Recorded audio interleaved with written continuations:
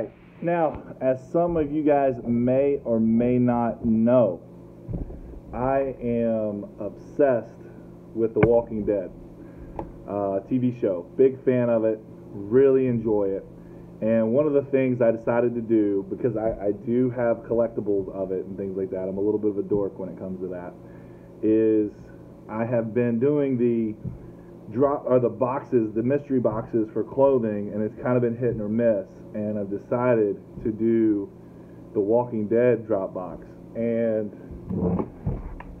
I got mine today, despite the whoever sent it, the postal service or not, just kind of put it in the middle of my driveway. Um, thanks for nothing.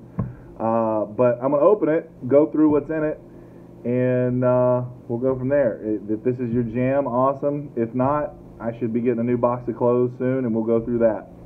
So here we go.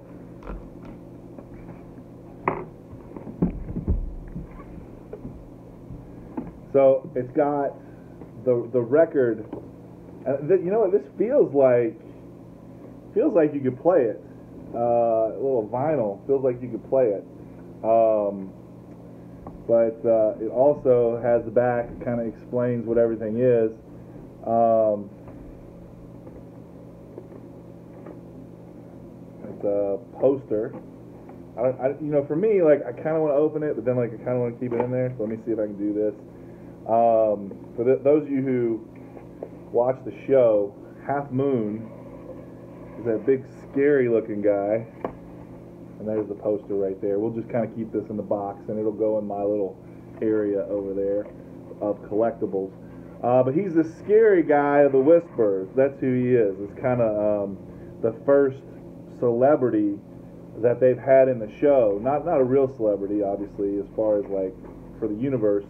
That guy was supposedly a um, country singer type guy, uh, and it was kind of crazy when they all found out. Like, and the line is, "Hey, do you know who that guy was?" And uh, they say, "Yeah, he's nobody." So uh, that's a pretty cool line. So here's here's a poster of him.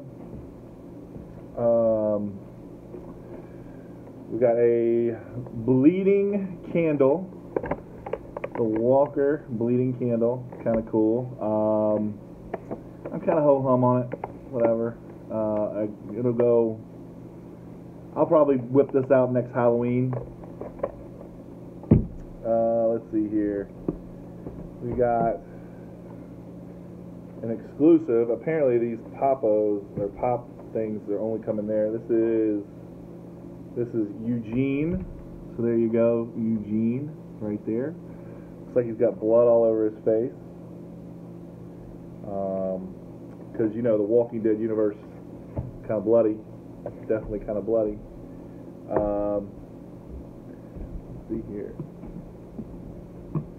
He looks like